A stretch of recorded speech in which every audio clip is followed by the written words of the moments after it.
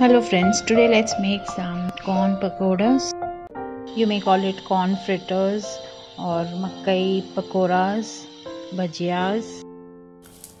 Here uh, the twist is that I made it out of masala oats so I did not need any spices. It was already tangy and spicy.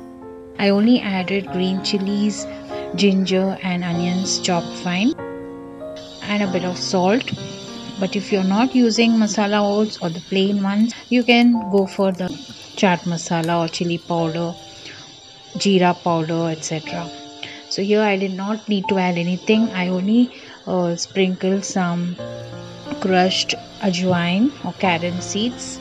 I use rice atta to give it the crunch and more of besan atta as shown in the ingredients. If the dough is too runny you can add more besan and a little of rice flour and if it's too stiff you can add a bit of water.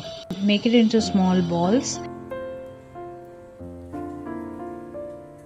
Heat the oil from high to medium flame and then add the balls into it.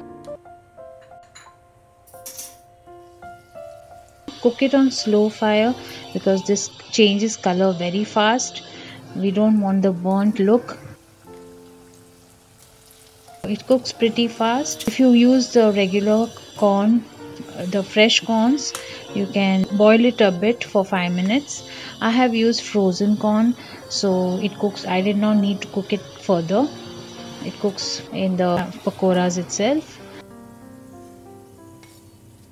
So here we are ready with the pakoras. You can have it with uh, chutney pav. My son loves it this way um, I use some coriander and pudina chutney. I personally liked it best with the copra and garlic chutney. Since it's already got that sweet flavor due to the corn, this gives it a spicy punch. Here you go with the recipe. Do try it out friends.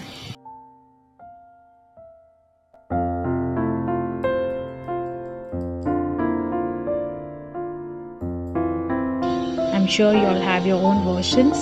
I would like to hear from you in the comments. Thanks a lot and keep watching. And don't forget to like, subscribe, and share. See you soon again.